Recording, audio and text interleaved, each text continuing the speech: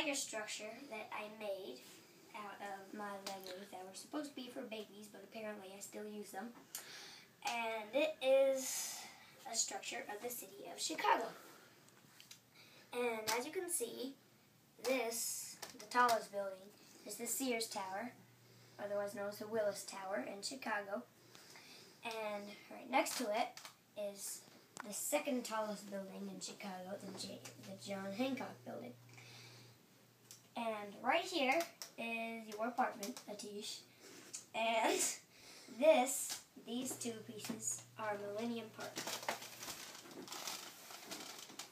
These two pieces.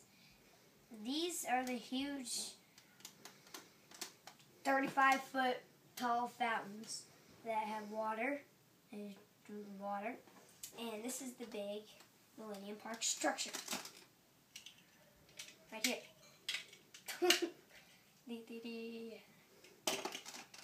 And um, this is the Adler Planetarium. And that's all I built. I really don't have any more pieces. But otherwise, yeah, uh, my model of Chicago.